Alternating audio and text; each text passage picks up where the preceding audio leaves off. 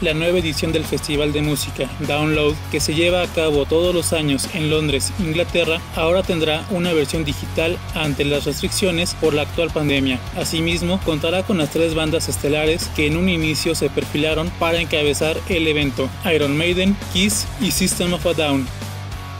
Download se transmitirá durante los días 12, 13 y 14 de junio próximo a través de su canal de YouTube, así como sus redes sociales, donde se incluirán presentaciones en vivo, imágenes inéditas, entrevistas y contenido exclusivo de las bandas que estaban programadas para la alineación de este año.